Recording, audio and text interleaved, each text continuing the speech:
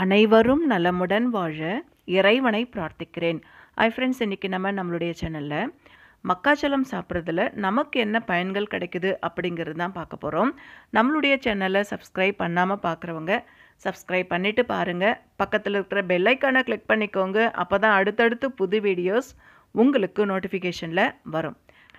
Thiamine niacin சத்துக்களுடைய பயன்கள் இந்த மக்காச்சோளம் சாப்பிட்றதுனால நமக்கு எப்படி கிடைக்குது அப்படின்னு பார்த்துடலாம்.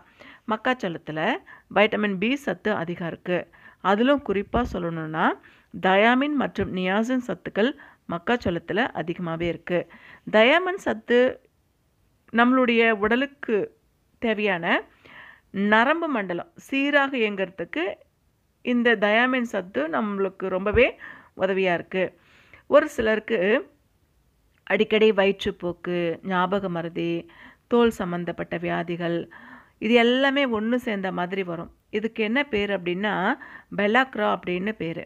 இந்த பெல்லாக்ரா குறைபாடு இருக்கிறவங்க உடலில் நியாசின் சத்து குறைபாட்டால் ஏற்படுறது. அட் ஏ டைம் எல்லா நோயும் ஒன்றா வருது அப்படின்னா அவங்களுக்கு நியாசின் சத்து குறைபாடு கம்மியாக இருக்குது அப்படின்னு அர்த்தம்.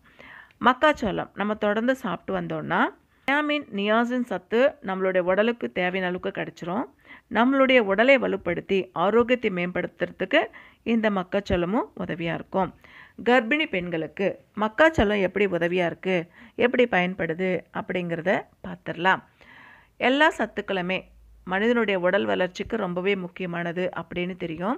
எல்லா காய்கறிலையுமே எல்லா கீரைகளையுமே எல்லா பழங்களையுமே எல்லா சத்துக்களும் இருக்குது அதே மாதிரி இந்த மக்காச்சோளத்தில் போலிக் ஆசிட் கர்ப்பிணி பெண்களுக்கு கம்மியாக இருந்துச்சுன்னா அவங்களுடைய உடலில் கர்ப்பிணி பெண்களுக்கு போலிக் ஆசிட் கம்மியாக இருந்துச்சு அப்படின்னா அவங்களுக்கு பிறக்கிற குழந்தைகள் சராசரி எடை அளவை விட கம்மியாக இருக்கும். மருத்துவர்களுடைய அறிவுரையின்படி குறிப்பிட்ட அளவில் மக்காச்சோளம் நம்ம வந்து எடுத்துக்கிறது ரொம்பவே நல்லது.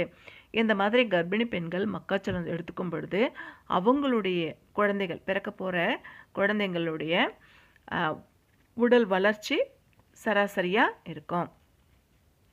மூல நோய் தடுக்கிற தன்மை மக்காச்சோளத்துக்கு எப்படி இருக்குது அப்படின்னு பார்த்துடலாம் மக்காச்சோளத்தில் அதிக அளவு நார்ச்சத்து இருக்குது இந்த மக்காச்சோளத்தை வேக வச்சோ அல்லது பச்சையாவோ நம்ம சாப்பிட்டோன்னா நமக்கு நார்ச்சத்து முழுசாக கிடச்சிரும்.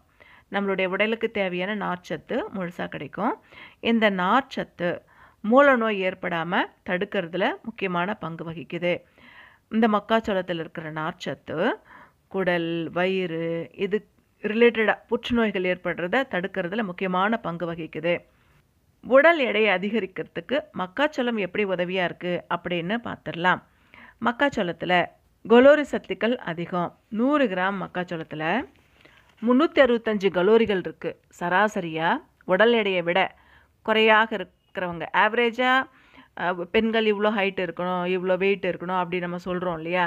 அதை விட உடல் எடை கம்மியாக இருக்கிறவங்க இந்த சோளத்தை அடிக்கடி சாப்பிட்டு வந்தாங்கன்னா அவங்களுடைய உடல் எடை வந்து அதிகரிக்கும். அனீமிக்காக இருப்பாங்கல்ல ஒரு சிலர்.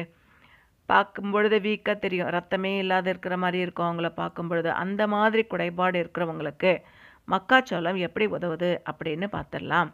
மக்காச்சோளத்தில் vitamin B twelve folic acid மற்றும் இரும்புச்சத்து இது எல்லாமே அதிகமாக இருக்குது இது உடலில் இரத்த சிவப்பணுக்களை உற்பத்தி செய்கிறதுக்கு உதவுது.